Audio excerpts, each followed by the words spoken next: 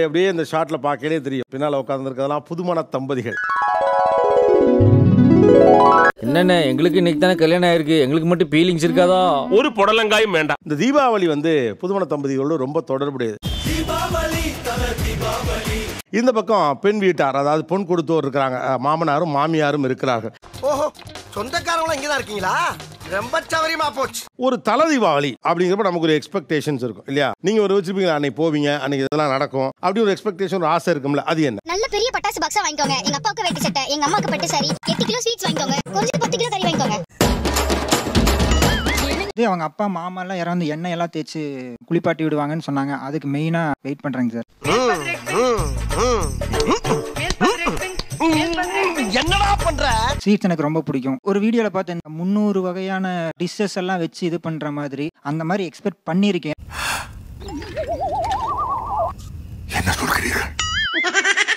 Sweets மட்டும் ஒரு seventy percent மீதி வந்து நான்வெஜ்ஜா போயிடலாம்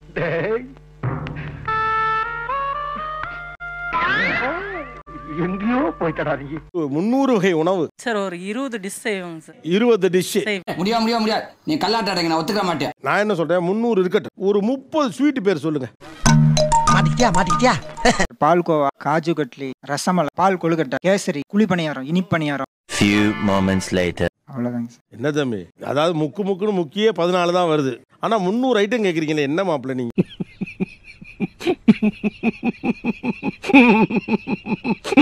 தலை தீபாவளிக்கு வீட்டுக்கு போனோடனே அப்போ ஒரு பத்தாயிரம் வாழா பத்தாயிரம் ரூபாய். வெடிக்கணும்.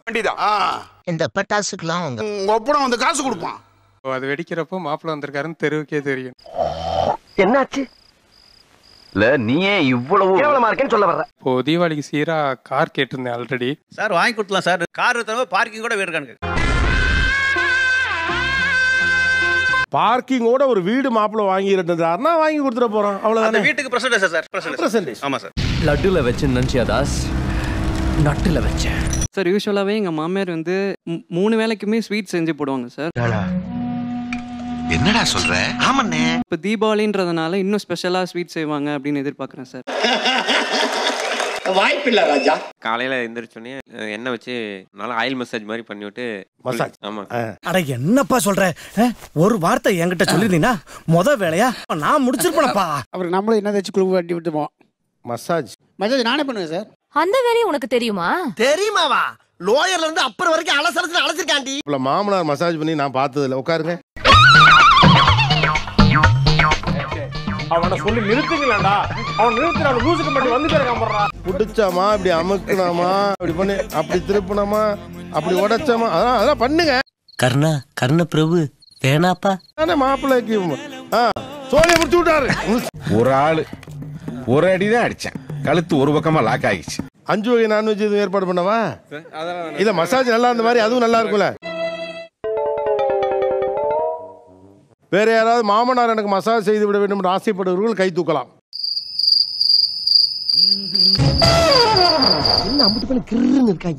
தீபாவளி முன்னாடி நாள் நைட்டு நம்மளை இன்வைட் பண்ணுவாங்க. அப்படி இன்வைட் பண்ணும்போதே அந்த பாப்பர்ஸ்லாம் வெடிச்சு ஆர்த்தி சுத்தி வீட்டுக்கு கூட்டிட்டு போனோம். தெரிஞ்சுக்கிட்டியா?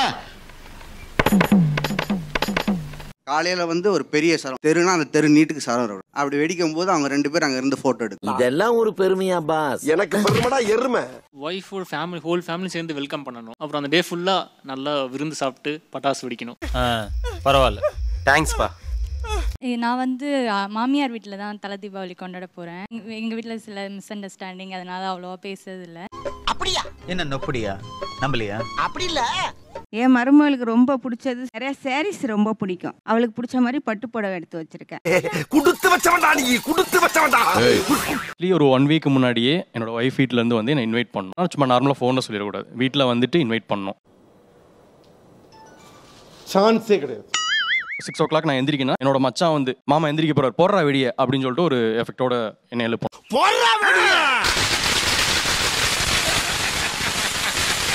ப்ரெஸ் பண்ணுறதுக்கு முன்னாடியே எனக்கு ஒரு காஃபி கொடுக்கணும். அன்னைக்கு ஃபுல்லாகவே ஸ்வீட் தான் சாப்பிட போகிறோம் அந்த ஸ்வீட்டை ஓவர்லாப் பண்ணுற மாதிரி அந்த காஃபி இருக்கும். என்னடா முட்டாத்தனமா பேசிக்கிட்டு இருக்க? முட்டா பயல.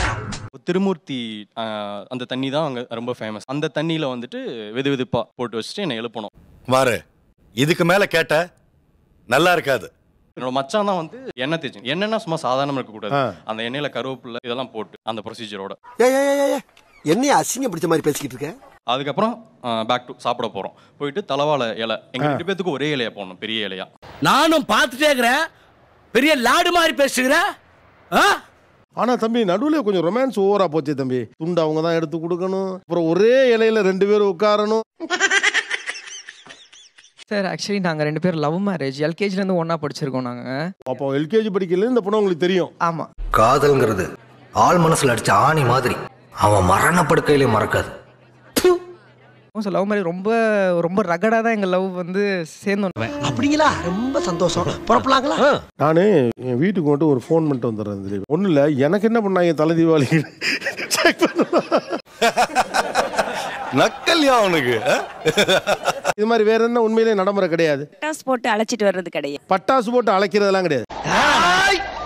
இடையில பேசப்படாது. விஷத்தை பத்தி எனக்கு அப்பயே தெரியும். அப்பயே தெரியும் சொல்லிட்டேன். நம்ம ஊர்ல என்ன வழக்கமோ தீபாவளினா என்ன என்ன வைக்கணும் என்ன வைக்கிறது தான். நகை போடு நகை போடு எப்படி போடுவாங்க எனக்கு தெரியல. நகை என்னன்னு எனக்கு தெரியல. கேம் ஆடுறானுங்க. நம்ம கிட்டயே.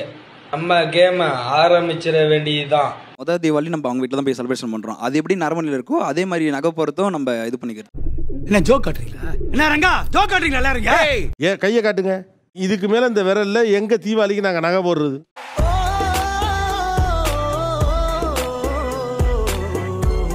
அப்பா அம்மா வந்து அவங்களுக்கு ட்ரெஸ் எடுக்கலாம். அது செய்யலாம். நீங்க போய் நகை போடு நிலத்துக்கு நகை போட்டு இருக்க முடியுமா? சார் அது ஒரு ஸ்பெஷல் அக்கேஷன் இல்லை சார். அதெல்லாம் சொல்லக்கூடாது அதெல்லாம் சொல்லக்கூடாது. ஏன் சொல்றடி? அதெல்லாம் நீ சொல்லக்கூடாது. வா மாமனாரை விட்டு மாமியை வீட்டுக்கு வரதே உங்களுக்கு ஸ்பெஷல் கவனிப்பு தான். அடுத்து குழந்தையா வேற இருக்குது சின்ன பிள்ளை வேற இருக்குது அதுக்கு பண்ணணும்ல? நகை போடுறது ஒரு கெத்து தானே சார்.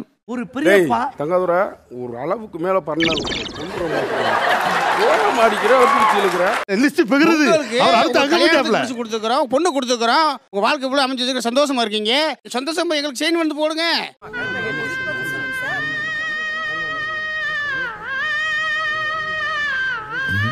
உங்க வீட்டுக்காரருக்கு ஒரு நகை போடுறது அவருக்கு கெத்தா? இல்ல இவரு உங்க தம்பிக்கு ஒரு நகை போடுறது கெத்தா? இவரு எங்க அண்ணாக்கு போடுறது தான் சார் கெத் எப்படி? சாம்பார் அப்ப எனக்கு. எங்க அம்மா எதுவுமே செய்ய மாட்டாங்க. எனக்கு தெரிஞ்சு இதான் ஃபர்ஸ்ட் ஸ்வீட்டா ஓ இருக்கும்னு அப்படியா? நினைக்கிறேன். ஆமா இது நாங்க யாருக்குமே ஸ்வீட் செய்ய தெரியலங்கிறீங்க? இருக்கட்டும் மச்சான். நானே ஃபர்ஸ்டா இருந்துட்டு போறேன். என்னது? எப்பா, நீயானோட அடுத்த அறிவிப்பு. இந்த தலைமுறை மாமியார்களுக்கு ஸ்வீட் செய்ய தெரியவில்லை. யோசனை நல்லா இருக்கே.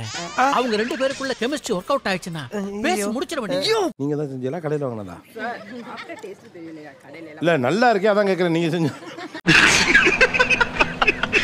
மேரேஜ் மாப்பிள்ளைக்கு ஏதாச்சும் செயின் ஏதாச்சும் போடுவாங்க. ஆனா அதுவுமே போடல என் வீட்ல. புரிஞ்சிருச்சு மாப்பிள்ள புரிஞ்சிருச்சு. அதனால இங்க நீயா நான் வரோம் அப்படின்னோடனே நான் அதை இங்கேயே கொண்டு வந்துட்டேன். இங்கேயே நம்ம கொடுக்கலாம் அப்படின்ட்டு. என்ன தங்க பண்ண போறீங்க? பார்த்தா அழுதுருவீங்க. அழுதுருவனா? ஆனந்த கண்ணீர் விடுவீங்கன்னு சொல்றேன். அப்படியா?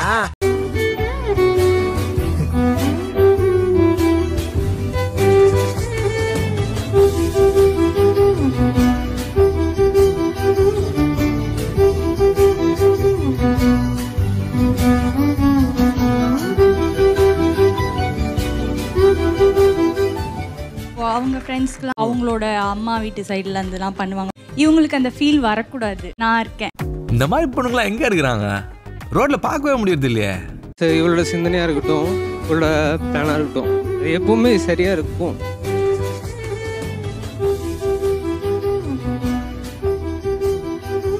போதும். ஆனா ஒண்ணு இந்த பொண்ணு போதும்டா. நல்லா பார்த்து ஏன்னா டக்குன்னு கலங்கணும். படக்குன்னு பக்கத்துல வந்துருச்சு ரைட்டா?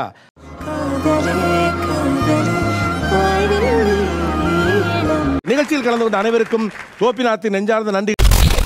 இந்த வீடியோ பிடித்து இருந்தால் சேனலை சப்ஸ்கிரைப் செய்யவும் ஏதாவது குறைகள் இருந்தால் கமெண்டில் போடவும் அப்புறம் மறக்காமலை போட்டுடுங்க. வரட்டாமாம் வீடுறர hey guys this is your editor video பிடிச்சிருக்குன்னு நினைக்கிறேன். ஸோ பிடிச்சிருந்தா ஒரு லைக் பண்ணிடுங்க.